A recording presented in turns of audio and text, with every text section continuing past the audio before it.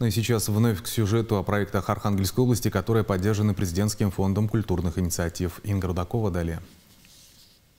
Фильм к юбилею города осуществляется. Через полтора месяца столица Поморья отметит 440-й день рождения.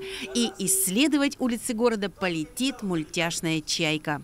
Осуществить грандиозную идею энтузиастам помог президентский фонд культурных инициатив.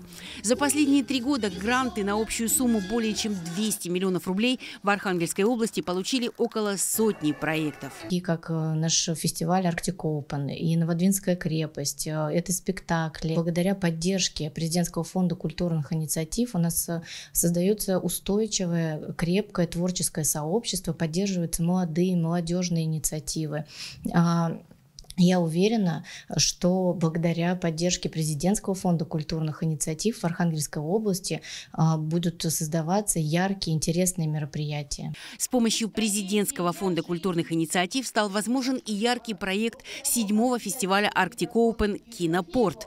Благодаря гранту северяне увидели новое детское кино и смогли пообщаться с юными звездами российского экрана. Новый проект не просто мультик, а мультсериал под названием «Архангельск на крыльях истории» истории, которые рассказывают улицы. Мы идем по улице, мы видим названия, да, улица Русанова, улица Тыковылки.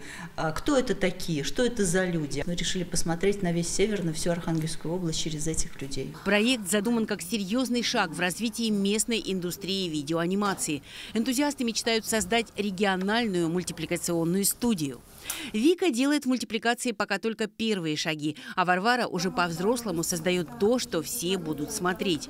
Тех задания для аниматора – реплика героя. На эту реплику и создается персонаж. Художник работает строго под звук. Представляете, как эта буква произносится, ну или произносите, и понимаете, как она должна выглядеть. Последняя неделя на отрисовку и месяц на монтаж и озвучку. Директор анимационной студии «Софу» ведет строгие режиссерские графики. Фон, прорисовка, заливка – все уже готово. 25 кадров в секунду, телевизионный стандарт.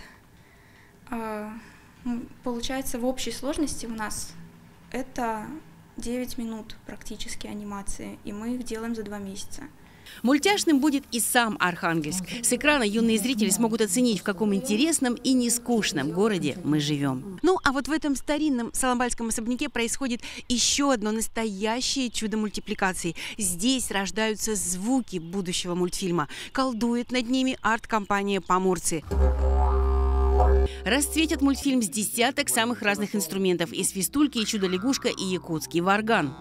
Первая презентация мультпроекта 25 июня в День Архангельска в городском культурном центре. Инга Рудакова, Роман Королюк, Вести Поморья.